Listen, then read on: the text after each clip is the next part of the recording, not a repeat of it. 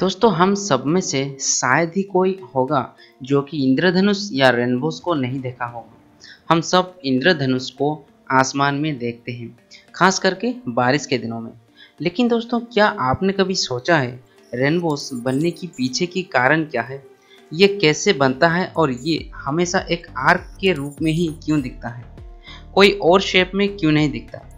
इन सब सवालों की जवाब जानने के लिए बने रहिए हमारे साथ वीडियो के एंड तक, क्योंकि आज की इस वीडियो में हम इन्हीं सब सवालों के बारे में जानने वाले हैं।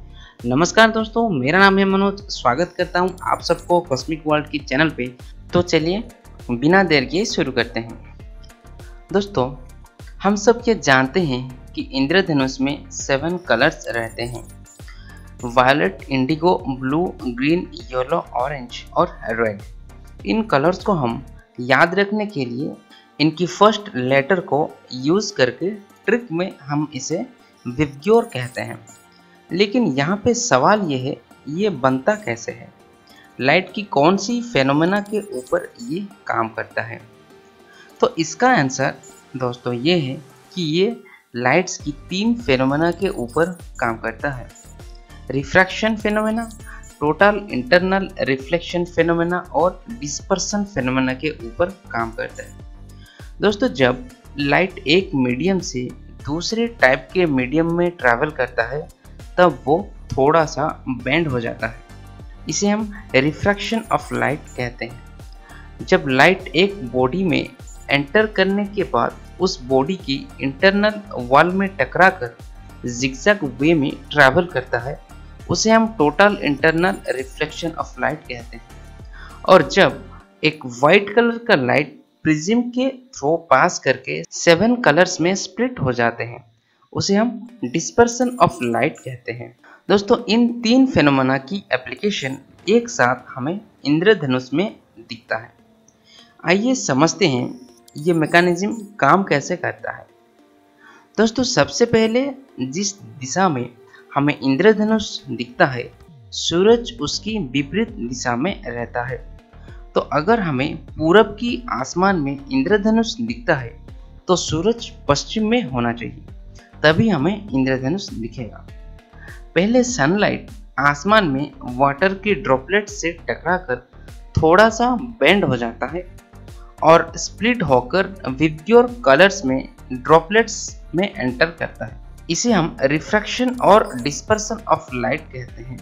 उसके बाद ये dispersed seven colours lights droplets की इंटरनल वॉल पे टकरा के एक एंगल पे वापस मुड़ती है। इसे हम टोटल इंटरनल रिफ्लेक्शन कहते हैं।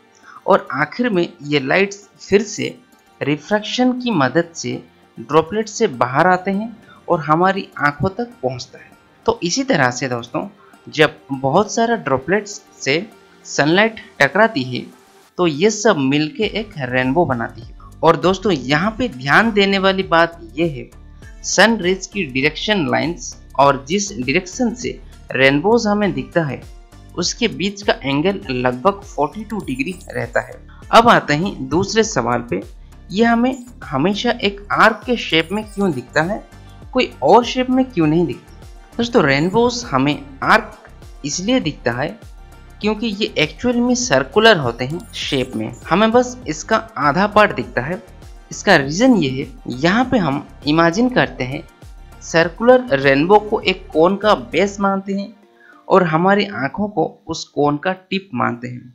यहाँ पे हमें नज़र करना पड़ेगा कि ये जो 42 डिग्री का एंगल है, ये एक डिरेक्शन से नहीं आता है, बल्कि ये सब तरफ़ से आ रहा है। उस कोन के बेस से हर पॉइंट्स में 42 डिग्रीज एंगल बन रहा है। और ये एक सर्कल जैसा बनता है, पर हमें इसका सिर्फ़ अपर पार्ट ही दिखता है। बॉटम पार्ट ग्राउंड के नज़दीक आने से नहीं बन पाता है और पूरा का पूरा सर्कुलर रेनबो हमें माउंटेन की टॉप में दिखेगा। और हम एरोप्लेन में हो तब भी हमें देख सकता है। दोस्तों रेनबोज एक्चुअल में एग्जिस्ट ही नहीं करते। बस ये एक लाइट का ही फेनोमेना है, जिसे वाटर ड्रॉपलेट्स जिसे हम छोटी सी प्रिज्म भी कह सकते हैं सन की लाइट से बनाते हैं। और ये हमारे एक स्पेसिफिक लोकेशन पे ही दिखेगा। अगर लोकेशन चेंज होता है या एंगल चेंज होता है तो रेनबो हमें नहीं दिखेगा। दोस्तों, आशा करता हूँ इस वीडियो से आपको रेनबोज की फॉर्मेशन के बारे में कुछ जानकारी ज़रूर मिला होगा। दोस्तों, वीडियो आपको कैसा लगा प्लीज़ हमें कमेंट बॉक्स में ज़रूर कमेंट कीजिएगा।